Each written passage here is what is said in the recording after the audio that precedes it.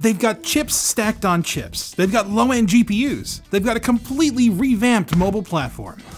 Is there anything more satisfying than competition? Because that's what this looks like. AMD's CES announcements are all responses to the competition, be it defending the crown that they just took from Intel or matching Nvidia card for card. But the question remains, can AMD maintain their dominant position? Or in 2022, are we witnessing early stage Intel level desperation? One thing's certain, things are getting very interesting. Pebblehost offers dedicated servers starting from $39.99 a month with a range of systems for all use cases. Use code Linus for 30% off your first month, valid for the first 100 people who use it.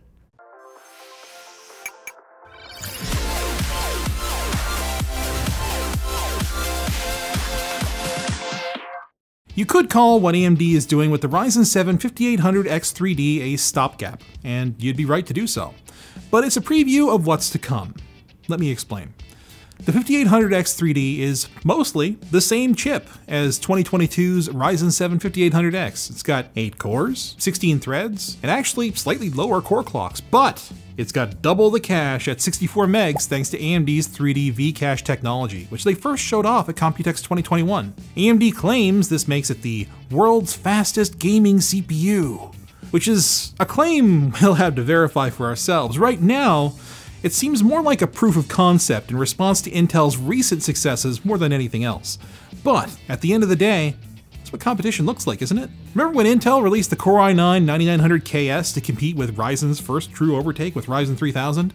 You're going to need a beefy cooler in order to get the best performance out of it. AMD may not be as desperate as Team Blue was back then, but little moves like this are a way to stay competitive while the real response is in the oven.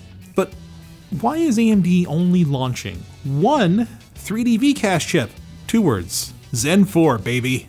Get it? Because it's two words and a number. Anyway, due out in the second half of 2022, Zen 4 is AMD's true next gen, complete with a new socket, AM5. Not much is known about what Zen 4 looks like just yet, aside from that it has a very interesting IHS design and that it's confirmed to be manufactured on 5 nanometers.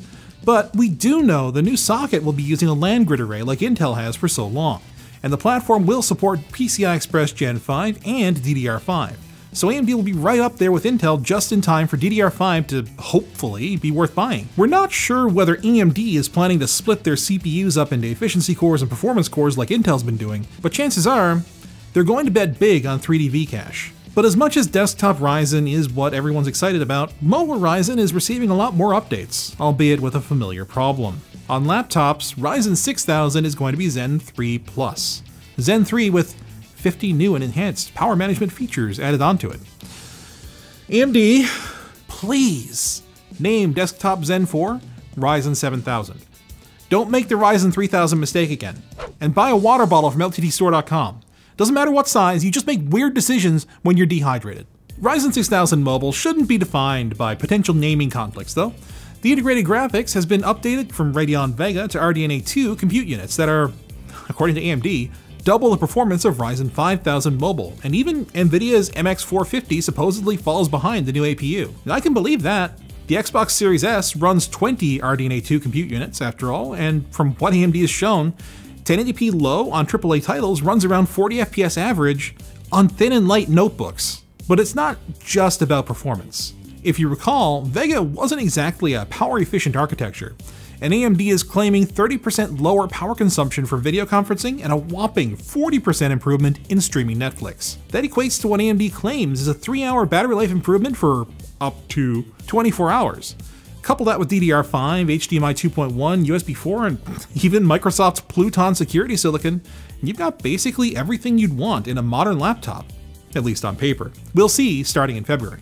Also launching in February are gaming laptops with new Radeon dedicated mobile GPUs, the new RX 6000S series tuned for power efficiency, and an updated RX 6000M lineup running with higher clock speeds and faster memory for what AMD is claiming a 14% or so performance improvement on average. Look for the 50s in the mid-range and high-end, and look for the RX 6500M and 6300M on the low end, the latter of which is supposedly twice as fast as NVIDIA's GeForce MX 450. And that's not too surprising considering the RDNA 2 APUs are already supposed to be as fast or faster than those, so there you go. NVIDIA is on notice. It's not the GPUs themselves that are super exciting though. It's how they integrate with AMD's updated Advantage platform, which now stipulates the new Radeon graphics, Ryzen 6000 processors, and FreeSync Premium with 144Hz or faster Full HD and 120Hz or faster QHD and 4K displays. So the refreshed GPUs will be connected to some quality hardware. Not only that, but there's new smart technologies in the mix too. SmartShift Max, which is basically just version 2 of AMD's dynamic power balancing feature for Ryzen and Radeon mobile chips, now works in more games, and thanks to tweaks to its algorithm, AMD claims it provides better results in the games that it already did work with. They say it's about twice as efficient as the original version, which isn't bad for a 2.0. They've paired this with what they're calling SmartShift Eco, which effectively forces games to run on the RDNA 2 APU instead of the dedicated graphics if the AC adapter is unplugged. You can turn this on or off yourself, but this streamlines the process of making sure that your power settings are enforced when you launch a game on battery to improve endurance. The final new smart technology is Smart Access Graphics. As we know by now, a MUX chip on a gaming laptop is a must for best performance. It switches the display between the integrated graphics and dedicated graphics so they don't have to work through each other, which improves performance and responsiveness in gaming by up to around 15%. And when you're not gaming, connecting directly to the integrated graphics improves power efficiency. SAG then is basically an easy marketing way to say that the laptop's got one of these chips automatically routing the display signal, which is great because nobody else is doing that right now. Some of the first laptops under the new Advantage program with all of these new features will be Alienware M17R5 and the ROG Zephyrus G14, the latter of which now features a webcam, and I believe we have a hands-on coming later this week, so make sure you get subscribed so you don't miss it. The final noteworthy announcement is AMD's next entry-level GPU, the RX 6500 XT. It's got a spicy 2.6 GHz game clock and a modest 16 compute units and 16 megs of Infinity Cache. So you can expect 1080p medium or high depending on the game and whether you want to use AMD's Fidelity FX Super Resolution scaling algorithm. Which, by the way, will soon have a universal toggle in the driver in the form of Radeon Super Resolution.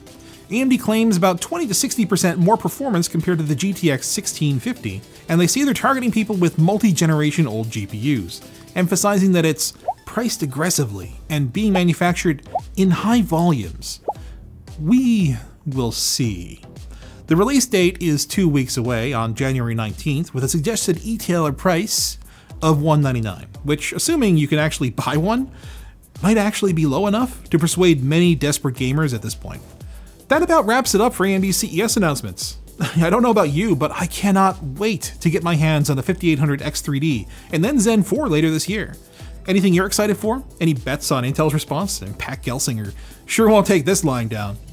Mm Mmm. Mmm. This video is brought to you by Manscaped. Manscaped provides an all-in-one grooming kit that has you covered from head to toe. Their Performance Package 4.0 features their Lawnmower 4.0 waterproof body trimmer, their Weed Whacker ear and nose trimmer, plus a whole bunch of other goodies. For a limited time, you get all of this plus two free gifts, the Shed travel bag and Manscaped's anti-chafing boxer briefs. Visit manscaped.com slash tech or click the link down below for 20% off and free shipping. Thanks for watching guys, go check out our video on AMD basically selling broken PS5s for a little more strange behavior from Team Red. It makes more sense than you think.